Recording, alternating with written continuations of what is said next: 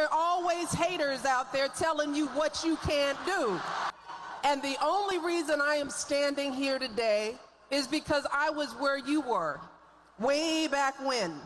I was a kid who grew up on the south side of Chicago. I went to public schools my entire life.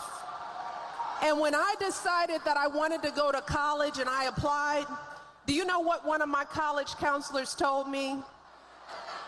She told me, don't set my sights too high. Some of you may be the first or only people from your family or your community to even take this step. And that might feel a little scary, right? Yeah, it certainly did for me. Look, I went from the south side of Chicago to Princeton University.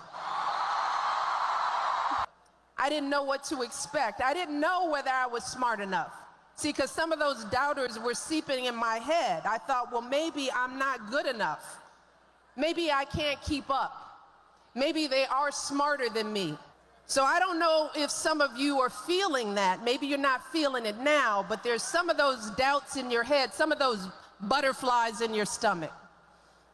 And if you are feeling that way, I want you to know it is perfectly normal. But here's the advice that I have for you. Yeah, you're going to get to college and you're going to struggle sometimes because we all struggle. Shoot, when Barack and I set foot in the White House, it was a struggle. There were a lot of people who told us that we weren't supposed to be in the White House, that we couldn't handle the pressure, that we weren't ready. But see, when you, you hit those roadblocks, when you have trouble in that class, when you feel like you're falling behind, you have to ask for help.